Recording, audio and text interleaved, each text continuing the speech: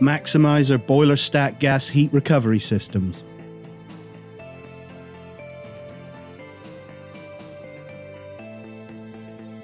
The Maximizer Economizer system allows you to heat processed water up to 140 degrees Fahrenheit, utilizing waste energy normally lost to atmosphere from boiler or dryer exhaust applications.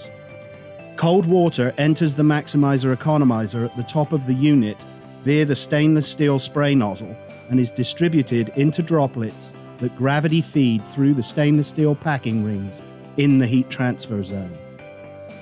At the same time the water droplets gravity feed through the heat transfer zone, an exhaust gas blower provides heat energy as it diverts hot exhaust gas from the boiler or dryer exhaust from its normal path to atmosphere into the maximizer economizer.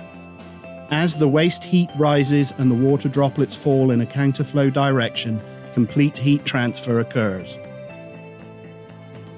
The resulting 140 degree Fahrenheit clean water stream, heated with free waste energy, can be utilized in any process hot water application.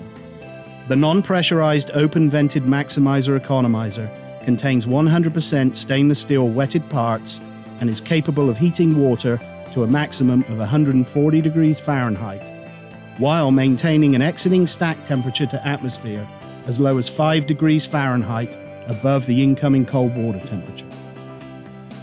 All Maximizer heat recovery systems are supplied with PLC control, HMI screen, remote access capability, and BTU monitoring system to measure the value of savings. Maximizer systems, increasing profits through utility reduction.